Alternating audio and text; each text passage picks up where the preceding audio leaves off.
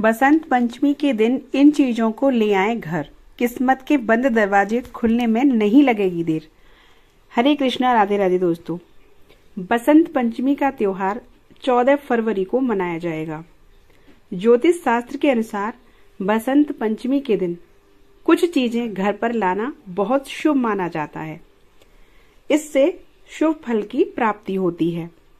हिंदू धर्म में साल भर बहुत सारे त्योहार आते हैं। माघ महीने की शुक्ल पक्ष की पंचमी तिथि को बसंत पंचमी का त्योहार मनाया जाता है। इस दिन माँ सरस्वती जो विद्या और कला की देवी हैं, की पूजा अर्चना की जाती है।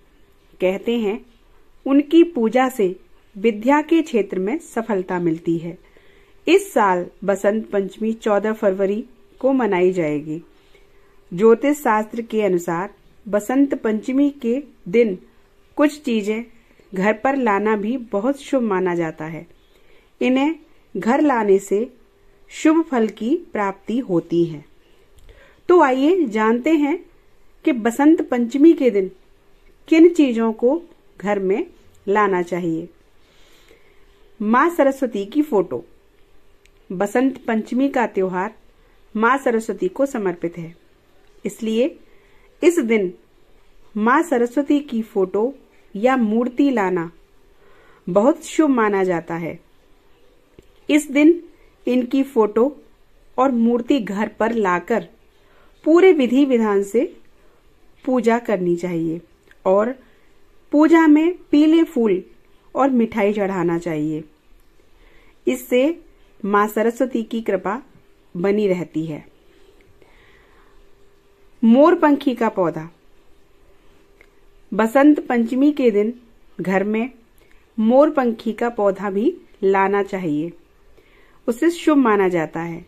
कहते हैं कि इसे घर में लाने से सुख, शांति और बुद्धि का विकास होता है। इसे घर की पूर्व दिशा या बच्चों के कमरे में भी रखा जा सकता है। बांसुरी या बाध यंत्र। बसंत पंचमी के दिन बांसुरी या बाध यंत्र लाना बहुत शुभ होता है। कहते हैं, जो लोग कला प्रेमी होते हैं, उनके लिए कला की कोई वस्तु लाने से शुभ फल की प्राप्ति होती है। इसे घर लाकर माँ के चरणों में अर्पित करने से सफलता प्राप्त होती है। शादी ब्याह से जुड़ा हुआ सामान।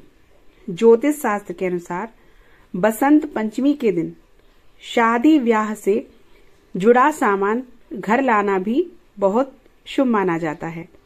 शादी के लिए कपड़े, गहने आदि की खरीदारी करने से सौभाग्य की प्राप्ति होती है। पीले वस्त्र धारण कर लाएँ पीले फल।